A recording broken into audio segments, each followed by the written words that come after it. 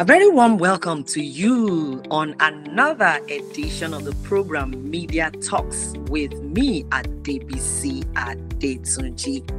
It is always my pleasure to bring your way experts in the media industry, people doing great and amazing things, people doing things differently in the field of the media space, whether in the traditional or digital media. The Media Talks is a platform that affords anyone looking to make a success of their media professional, whether you're just starting out or you're already in middle management or you've already spent a number of years as a practitioner. This is where we inspire, motivate, learn, relearn, unlearn, and equip ourselves with the skills, with the knowledge and information that can help us to succeed. You don't have to limit yourself, you can be so much more. Today, we'll be talking about women in sports. Yes, sports, sports, sports. Often we find that it is a men's zone, the male gender, you know, have taken over the space, the world of sports. But a number of women have taken up the challenge to enter into the space and the world of sports to make an impact and make a difference. Who says a woman cannot do so well in sports reporting and programming? Now, the lady, my guest today, is someone when I first listened to her on radio, I was I was baffled and I was pleased at the same time to hear a woman present sports in such a way that she could actually match her male colleagues and she she does a very good job of presenting sports program and sports news. And I brought her on Media Talks today to learn about her secrets, her journey, to talk about how she's doing it and how she can inspire other women in the sports space or the ladies that want to succeed presenting sports program. I have with me Blessing for Fowowe. She is a sports journalist who hails from Oriade local government area in Osun State. Blessing Fowowe holds an MBA degree from the European Sports Business School, Valencia, Spain. Blessing Fowowe has covered several sports events both within and outside of Nigeria, some of which include but not limited to the 2016 CAF Beach Soccer AFCON in Lagos international and intercontinental games involving the Super Eagles of Nigeria, the 11th Africa Women's Cup of Nations Championship, held in Ghana, November 2018. The 12th and 13th African Games held in Morocco and Ghana, respectively. Blessing also attended the World Youth Forum in Egypt in 2022 as a journalist and as a participant. Blessing is a goal getter, obviously, and a good team player who is pushing the frontiers of female sports analysts, broadcasters, and presenters. Make welcome with me this sporty female presenter on the program Media Talks. You are welcome. Um, I'm so excited to have the only and first female uh, uh, broadcaster uh, sports presenter, analyst in Oyo State. And I tell you, when she's presenting, I always wonder who is this woman that is just, you know, on top of her game. She talks sports like the guys. It's like she matches them. She, she just matches them and she speaks from a place where people like us that don't really like sports. we are like, ah, this is a woman talking sports. Wonderful. You're welcome, yeah. blessing Fowowe. I'm so pleased to meet you in person. Finally, virtually though. Yes, yes. Uh, yeah, great to meet you as well. Uh, great to be on the on the show. And at the moment, there are a handful of women into sports you know, journalism presentation right now in Oyo State in Ibadan. So I mean, you were I the first, right? Yes, I was. Yeah. Yes, I was the youngest at the time. Okay, you were the, the youngest. youngest. at the time. Yes. The only other person who was also into sports journalism then as a woman was uh, Mrs. Olabi of uh, BCOS. When I came okay. to Ibadan, I met her. So she was like the only person the only female, you know. Yes, uh, I think yes, I, I on, think I, I, know her. I remember the face. Yes. The yes. Face. So so when I came in, I was the only other woman and also the youngest at that point in time. That was back in uh, 2015. And the Gen yeah, Z, the Gen Z first female voice. I'm actually not Gen Z though. I don't know. okay, so which are you? Are you Alpha? I know I'm a millennial. You're a millennial. Nice. Yes, nice. I'm a millennial. Nice, but you sound like a Gen Z. yeah, yeah, I know. I know. We just, of course, we have to be able to, you know, re- uh, reach out. I feel like that millennial is like that, uh, that bridge between you know the ones before us and of course the ones after. So exactly, yeah. so we're able to like merge both together and also. I think it's a it's a good place to be in. yeah, definitely. I know, right? so, how did this all start for you? Have you always, you know, dreamt of you know working in the media space, and was sports even a consideration in the first place when you started out in your media journey? So I never thought that I would be on radio to begin with. I never thought I would do anything in media whatsoever. All I knew at the at the beginning was that I loved sports. I loved following sports. I don't know, maybe it's because I'm the only girl in amongst my siblings. I'm the oh wow! Okay, no wonder yes. you have the I, yeah, I know. Right? People say that a lot. I have three brothers, so I'm the only one in their midst. So I don't know if they kind of roped me into supporting sport, but I know I'm into loving sport. But I know I've always loved sports from a very, very tender age. I mean, we did a lot together. I mean, I played football with them.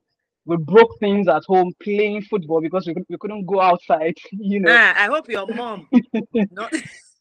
Of course, you she did it. Her, I don't know. You gave her a heart attack.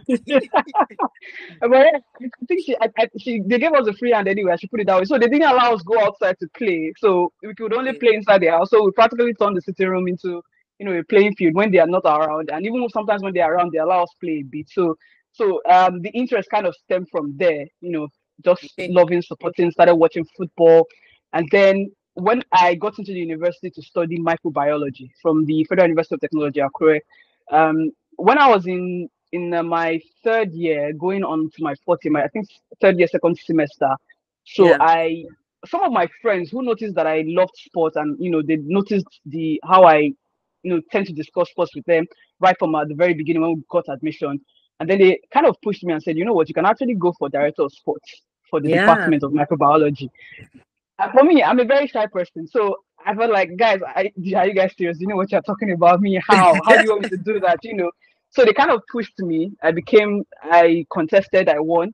I became director of sports for my for my department. And one of my very first responsibilities as director of sports back then was to organize a, a novelty match, you know, between the then uh, outgoing students and of course the rest of the department, just to celebrate them and you know as they get ready to graduate. So one of the things I did then was to organize that game, and for me, uh, I'd always been listening to radio though. I love listening to radio, but I never thought I would work on radio. Okay. Uh, so I met while while I was in the process of organizing that particular match, I met somebody who was already on radio in in FUTA then because FUTA had a radio station, a campus-based radio station. So the person was already on radio, and then I got in contact with that person. I mean, it was just for us to just talk, argue sports normally, just you know, discuss about football stories, argue them. A hobby, all of right? As the hobby, yes, just as just uh, you know, playtime and discussion, and all of a sudden I just need, invited me to the studio, and that was the first time I would ever see the four walls of a studio, you know, to know what it looks like. Wow. So, invited me to the studio. And my very first day, I thought I was horrible because I kept using repetition. I kept using words, you know, repeating words over and over. I thought, okay, this is not for me. I'm sorry, I'm done. But surprisingly, the the GM of the station at that time said, you know what, call her back. We loved what she did. I'm like, wait, you loved what? Are you I mean, kidding? I thought I was horrible. I'm telling you, I thought I was horrible. I mean, I, I still have recordings of those early days when I go back and listen to them and I be like, wow, you've come a long way, you know. Yeah. So yeah, so that was how the journey started for me. I began I became a student volunteer at, uh, FUTA Radio. Uh, that's in Akure.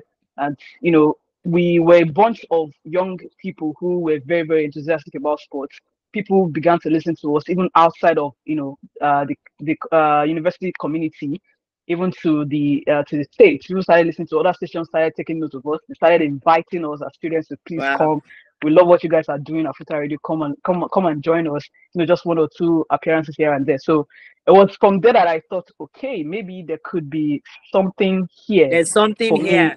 Yeah. To pursue at pursue at the end of the day. And I was really, really scared to talk to my parents about it, particularly my dad, because I know how they are very, very I mean, they are, you know, the average Nigerian parents, you have to be serious with your books, you know, take it seriously and what have you. So I was scared to tell my dad at first because I thought, okay, he'll be like, is that what I sent you to school to come and do, you know?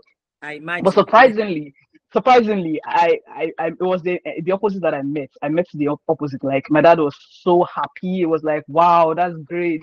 It became nice. my biggest cheerleader, such that while I was in school, he knew the days that I was going to be on air in school on the campus radio. He would call me before the shows and be like, "Okay, so have you heard Jose Mourinho did this, Chelsea did this, Arsenal did this? Are you going to talk about to this? your gist?" Basically, he was you know trying to help me prep you know, before, and then he would tell me, you know what, when you go up there and you mention your name, your name is Blessing, my name is Fowowe, so do well to, you know, Have represent the name. A proud daddy. exactly. So I had the support from the very beginning. So it was it was almost seamless for me to when I decided, okay, I wanted to take this as a career path. I mean, my dad was always looking for opportunities for me, talking to people. Okay, so my my daughter does this. Is there a space there? And you know, so I mean that that was how the journey started, basically. So we celebrate your daddy for you know supporting your dream, your your your passion, yeah, and, and, just letting you fly. We celebrate him on this show already, Mr. Fowowe. Yes, we celebrate thank you, thank you very much. so, how has it been working as a female sports presenter? What has been the the upside, the benefits, you know, the benefits of being a female uh, sports presenter. So, for example, somebody, a female wants to pursue and do what you're doing, what have been some of the benefits you have experienced? Well, uh, for, for me, my journey on this job, um, it has opened me to some sort of opportunities that I'd never thought that I would have. I mean, that's basically what media does to begin with. Even yeah. though I do understand that sometimes, as a lady, as as a woman, you you have to do like you have to do twice as much to get half as far. I mean, because of yeah. the structure of, of, of our society. But for me, it has opened doors for me in uh, in no in no small measures. International trips, for instance, I never mm. thought that I could be, you know, on that pedestal. But yes, I mean, I'm there. I get I get to attend international events. I get to. I love being on the field much more than yeah. I love being in the studio. I mean, when I first started, I enjoyed the studio vibes, but at some point I thought, okay, there must be more to being in the studio. So I started going onto the field and I mean, it was towards my final year that I started getting on field, you know, get to actually be in the midst of the action itself. I mean, and then when I came to Ibadan, I, I mean, I first started attending Shooting Stars matches, the privileges as a journalist to be able to go to those games, and yeah. then being in the thick of the action itself. I mean, that's one of the benefits that I have gotten that I enjoyed. And um, of course, it's also helped create like a, a persona, like a name, so to speak. Yeah. Even though I, I, I'm I'm the kind of person who doesn't really like um, the the attention. Mm, the attention, exactly. I don't really like the attention as such, but in a way, that's also helped the attention. There, there are certain places that you get to, and they'd be like, "Oh, you are the, you are this person." Especially with my voice. I mean, I enter my car in the bottom here, and uh, the driver is like, ah, this voice, I know this voice from somewhere. Are you blessed? I'm trying to hide myself. I'm trying to hide myself and pretend, oh, there are many blessings on radio. I, I say, no, I know this particular one. So, you know, yeah, I mean, there, there are certain places, there are certain doors that I, you know, possibly wouldn't even think of being able to get through, but I've been able to walk through those doors. So that's one of the things that helped me to achieve. And then, um, it's also opened my horizon to see that, you know, beyond the walls of the studio, beyond being on radio, there are other things that I can actually get to achieve in terms of the media space one, also in terms of the sporting world too. I mean, yeah. I don't just want to be the person who reports the story. I also want to be one of those who creates the story. And I say create the story in the sense that I, I like to be um, a, a leader in the sporting space, like like uh, like uh, like like I'm in the management world, like it's in you know in operations, working in operations behind the scenes, being part of those who put those things together for for everyone to, before we even get to see the sports that we get to see on our TV screens on the radio that we enjoy that we love listening to, being one of those who brings you know actively involved in bringing those things to light. That's one of the things that I you know I'm really uh, that it has helped me to it has opened my eyes to see that beyond being on radio there are other things that I can actually you know achieve and yeah the the ability to be able to achieve those things just by being on this platform just by being in this in this uh in this industry really that's one of the benefits that I've really enjoyed so far. Amazing and fantastic. So when you talk about from the back end management, are you talking about the team that puts that actually plans and organizes like sports events, sort of? Yeah, sort of that. Sort of that in terms of operations, you know, organizing events, even the business part of sports. Uh, you see, in Nigeria, uh, we don't really tap into the business part of, of sports. We sports is mainly like uh, recreation to us, if you know what I mean. Like we don't look at it yes, as, as, a business venture. As a Whereas business, outside yes. of the country, exactly outside of Nigeria, it is much more business than it is recreational. I'll give you an example. US right now, okay. the Nigerian athletes, Nigerian athletes, for instance, right now, they tend to want to travel to the US to be able to achieve their dreams, and because the US has this, they've been able to put down this platform where you're able to go to school, you're also able to, you know, pursue your athletic dreams or your sporting dreams and what have you. And they also make money in that process, you know, from uh, from sponsorship, from uh, you know, from uh, marketing, lots the, the, business side, basically business and organizational side. So yes, that's one of the things that I mean when I talk about management, operations, business, organization. That's one of the things that you know it has opened my eyes to see, and one of the things I really want to be able to get into, evolve into you know, at later on once I, I feel like I'm done with radio and you know done with media in a way. and TV, the, like mainstream media, right? yeah, mainstream media, exactly, exactly. So, so this takes me to the question: What are yeah. the opportunities uh, that are in being a sports presenter as a female? That's one. Number two, what are the opportunities for sports presenter generally because you are speaking to the fact that sports presenters should go beyond just you are just watching football you're telling us what chelsea or arsenal or whatever Mourinho or whatever whatever has happened it's bigger than just presenting so i would like you to yeah. tell us the opportunity that is that lies in sports uh, broadcasting or analysts for female and then generally yeah. for sports yeah. presenters what are the opportunities that are okay. within you know, working in that sports niche as a media professional? Yeah. So first of all, as, as a lady in this industry, as as women in this industry, in the sports industry, for instance, there are not many women generally. Um, I've been very, very blessed to be able to connect with other women, you know, in this industry across the nation. We've been able to create like a network where we tend to like rely on each other for opportunities. People send, okay, so there's this thing happening here. Would you like to go? Yeah. So the fact that there are not many women in this industry one is an advantage on on its own exactly. for for ladies who are coming in which means that you are able to it is saturated really but for the fact that there are not many women women it means that when you're coming in you're able to like uh have a niche for yourself. You're able to like plan properly and say okay so everyone is doing this. I want to be able to do this. And i'd like to go about it with a different approach um, I'm going to give an example. With, for instance, I have a friend who is also a female, you know, sports. In fact, she started as a sports journalist on radio, TV, and what have you. Now she's carved a niche for herself in content production, content creation, and also in table tennis. Oh, she's nice. getting ready. She's getting ready to um to to to to you know as a as a member of the you know WTT. There's a WTT World Table Tennis event that's coming to Lagos next month and she's going to be actively involved but this time around working in media and also creating content for this. So she's been able to catch it carve a niche for herself. I mean everyone can't follow football and then sleep with football all through. You know there are other yeah. areas where you can think about exactly. So in that regard that's some of the opportunities. I mean the biggest advantage is the fact that there are not many women. So which means that when you're coming in you can actually be able to sit down plan and think okay these are the things that i want to do this is how I want to go about it in terms of approach, and I want to achieve something different from what others are doing there. So now, in terms of opportunities generally, um, it's also why I say I, I would prefer for ladies who come in here to think beyond media, think beyond radio. I always tell people who come across me like media is a means to an end for me. It is not the end in itself. It is this mm. uh it is this vessel that I believe is going to take me to where I eventually want to get to at the end of the day, which I've mentioned earlier in terms of you know organization and business aspect of sport. So this is like a starting spot for me. So if you're coming in, you can consider also improving yourself. I mean, you can't rest on your oars. I talked about studying microbiology for a first degree. Many people don't. I tell people and they don't believe. Like, are you serious? I thought you did mass com or something. No, I did microbiology yeah. my first degree, but I've been able to get more courses in the period. I mean, all through my the years that I've been practicing, I've gone to the National Broadcast Academy, FRCN Training School in Lagos. I mean, I've taken online courses in journalism itself, in media.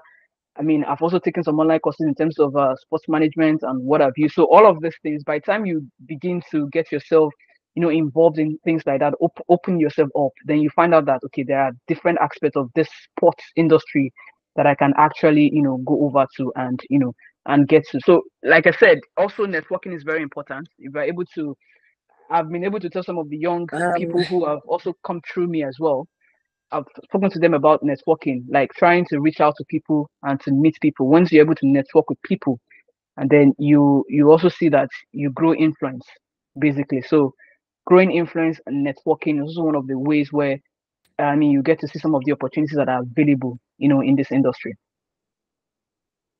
Fantastic. So what what I'm picking um from you is generally for female, female, female uh, sports uh, female in the media professional yes. profession who are interested in sports, you know, sports um, journalism. It's still an untapped space for for many yes. women. So if yes. you're a female and you you you come into sports journalism, sports presentation, sports whatever whatever it is, whether it's a business, yes. a lot uh, and opportunities are bound for you to grow, you know, and to have a niche for yourself. Yes. And the other thing I picked from what you've said is sports presenters should aspire to do much more than just sports news. Absolutely. Absolutely. explore, they should begin to explore other kinds of sports and have exactly. a niche. Because, for example, the your friend that carved a niche for herself in you know table tennis, yes. it means that any opportunities that comes up in that particular sport, She's one of the going first to get more exactly. opportunities than exactly. People, uh, I think football is um, saturated. She's exactly. likely going to get more opportunity of you know, oh, this person is interested in table tennis, yeah. or this person. Tell me which other sports uh, do we have? Uh, in in tennis, for instance, in basketball, I have friends who are you know whose whose yes. Area of specialization is basketball, tennis, and I mean they travel all over the country, all over the world for these events Yes, I mean, many would. of them all expense paid trip, as a matter of fact, and because yes. they've been able to cover niche for themselves. So yeah, yeah, they would because it's a it's a it's a space having you know following another other sports apart from football gives yes. you a leverage. So yes. it means that not too many of you are covering that sport. And exactly. when opportunities come internationally or locally or nationally, once once people know that you are good in that particular sport in the reporting of that sport or con- content creation in that uh, sport area they will invite you. So yes. so i like that thought line that sports presenters should be thinking of having a niche. Everybody should not just face oh it's football it's is one direction exactly exactly exactly so I like this. Exactly. Like what? And think beyond the four walls of the of the radio of, of, of a studio, for instance. Social media is a great tool to also use these days. I mean, there's a lot going on social media. I see many Gen Zs now getting paid on social media. So if you can use that to their advantage as well, It would be great. So you can create content, sports content for yourself, exactly. leveraging on the social media. Fantastic. Exactly. Now let's come down to what what has been the challenge for you, for example, mm what has been what, what what have you had to you know cope with or grapple with as a female sports presenter and how mm-hmm. have you been able to maneuver and mm-hmm. handle it yes well for me i've been quite lucky to be to not have been in certain space that people some people have described or some of my friends have described i've been very lucky to be able to work with people who genuinely want progress for me but one of the challenges that i've noticed is that number one you have to be able to command your respect. I mean, mm-hmm. basically, you have to earn the respect. I mean, I've seen people who didn't really respect me at first because they like, okay, what does she know? What does she want to see as a lady? What does a woman, know about what do women know exactly. exactly. But the moment I open my mouth and I begin, you know, to speak, they kind of like, okay, okay. So she actually knows. So I've been able to earn that respect. So, uh, being to be able to earn respect from, you know, the opposite gender and you know even folks in the industry generally that's that that was like a huge challenge. Uh, but right now uh, that's no longer a challenge for me. And i've been able to earn my respect over the years and that's one of the challenges that i see many young people who are coming behind also having not been able to earn their respect. But uh, the one advice i would give in that regard is continue to do what you're do what you're doing uh, continue to improve yourself continue to art yourself. Just keep doing your own duties and forget about everyone else forget about everything else and then you that respect will come at the end of the day. And one other challenge that I've seen people also have is the uh, platform. Many of them don't they look for platforms to be able to help them, you know, showcase this talent that they have, this gift that they have, this knowledge that they have. Unfortunately, they don't have those platforms, and for some, they're asked to work for free. Basically, I mean, many people get to do that. I when I started, I, I wasn't paid.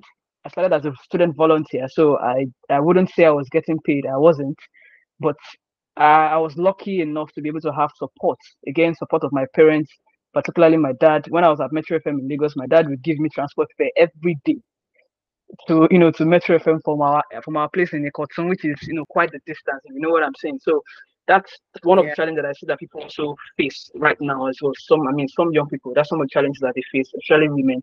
But again, like I said, you have to keep your head down. And these days, it has, it looks, it, it seems to be as though it is a bit more easier, easier in the sense that if you don't, you're not getting the platform, you're not being given the platform. Social media has made it so much easier that you can actually create a platform for yourself there. I mean, continue to record your content, continue to record your, in fact, if it's analysis that you want to record, record the analysis, put it on social media, and then get before you know it, you start attracting, you know, uh, attracting people who are who begin to see the potential in what you're doing. The right then, people. And the right people, exactly. So, so that, that for me was, you know, some of the challenges that I faced. But overall, I, I wouldn't really say I've been lucky. In, in, again, I've been very, very lucky to, to work with people right from, you know, while I was in the university. I've been very lucky to work with people who genuinely wanted to see me grow on the job. I know some other friends didn't have it that way. So yes, so but basically that's really some of the challenges that we get to face. Thank you. So so I, I would also say that um, again in the media space, there's what you call paying your dues.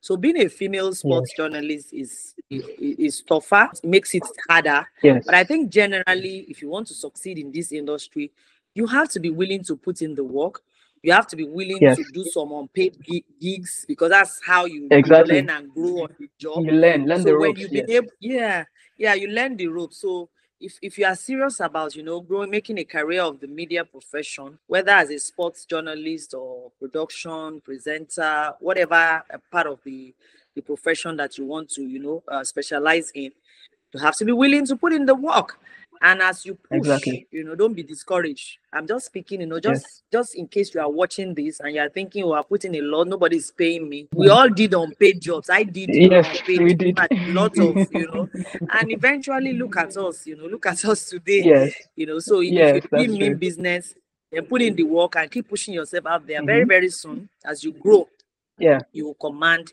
uh the respect. So blessing respect, do you exactly. play any sport do you do you do you play any sports? or you are okay, just so, uh, to us and you're not doing any. So actually, when when I was younger, I did I played football. Again, the football. Thanks to my brothers, they we all kind of played football together at that point. So yeah, I played football in secondary school, but when I got to the university, I didn't have that um that community like where I could, okay, there are fellow ladies who are playing football and I could play. And that when I got to university, I knew I could no longer play with guys. You know, I have to start uh, putting some sort of distinction between myself and them. So I, I played in secondary school. I played football for a bit in secondary school, but when I got to university, I didn't. And that's when I got into um, as a sports director for the department. And I, I coached my university team for a bit, my departmental team in university for a bit just really? a bit. And you then coach them in football. I, yes, I coached just a bit. My friends still call me coach to this day. I mean, some of them. So yeah, I coached for just a bit, and I played football for a bit really. But and then of course a lot of video games while we're young. Uh, play PlayStation with the boys. So yes, if that counts for anything, yes, I did. So I think your your brothers uh, they pretty much contributed a lot to how you thought. Yes. That's so nice.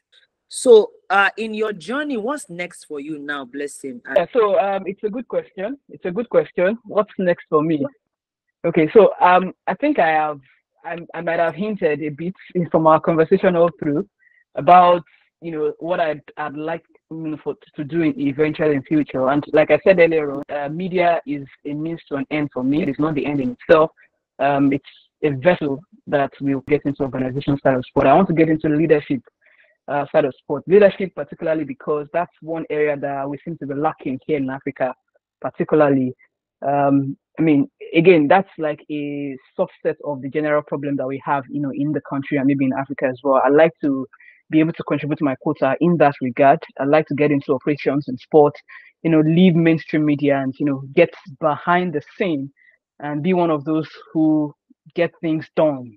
You know, to be able to bring this sport to people that you know, I mean, to, to everybody I, along the line as well. I, I like to I love the system of the system of sport that the United States has, you know, in terms of uh, school sports. Uh, along the line, I'm hoping that I would be able to like maybe find a way to, if we cannot replicate that totally in Nigeria model, that would be able to that would be fitting for our our community, fitting for our, our circumstance, you know, our situation as a country. So we'll be able to like, you know, identify and further help you know the underprivileged people who have interest in sports but have no means or wherewithal to be able to achieve what it is that they want to achieve. So yes, um, in a nutshell, I like to get into organization. I like to get into leadership. I like to get into operations. But in the meantime, I'm still on media.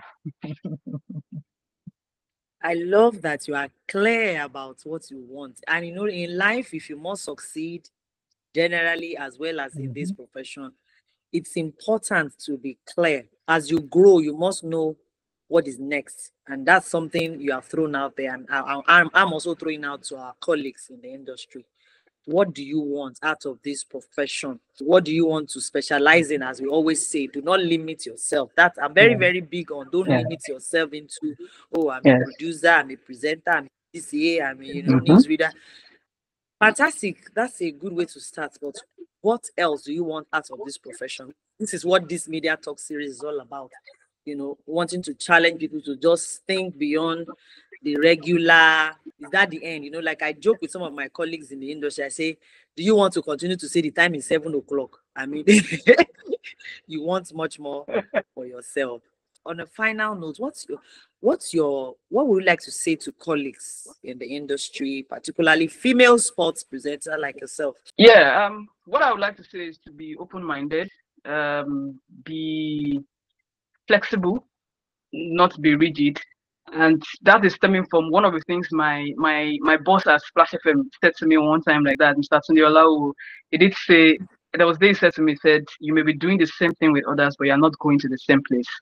And that's something that I've held very, very tightly onto ever since. So, and to be able to do achieve that, you have to be open-minded, you have to be flexible, you have to be willing to explore and you know reach out. Think, think, think about um, things that you can actually they can actually do to better yourself once to to better to better people around you I mean, you have to be willing to add knowledge onto knowledge, basically, add knowledge onto knowledge. I mean, you cannot, we cannot, the world keeps changing and you have to keep reinventing yourself, you know, in between. So, yes, uh, be open, be willing to explore, and be flexible. That's what I'll say to people. So I want to thank you for coming on Media Talks. It's it's it's really really I'm really really I so so appreciate you taking the time, you know, to to be on this show. And I thank you for the, you know, sharing your journey and your story with us and with everyone that will be watching this. Thank you so, so, so much. I wish you amazing things on your journey. And I know that thank you very much. I know you're going to do great things from you know that from listening to you. I know you're going to do great things, and when as you go higher, pave way for other people, other women, pave way for yes. them, and you know, hold their hands and mm-hmm. you know teach them and lend you know lend a hand to bringing thank them you very much profession so thank you everyone for come for for coming this far with us on the show this is media talks and i've been having a conversation with blessing for the sports woman analyst broadcaster who plans on going into the business side of sports you know journalism management and is planning to do amazing things as a female in the sports journalism space. I wish her the best. We wish her the best.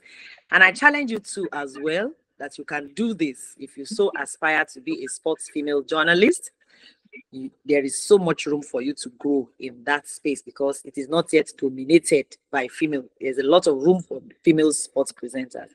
And one last thing I would like to, you know, every sports presenter watching this to take away, like she always said, is carve a niche for yourself in the sports industry. Carve a niche for yourself.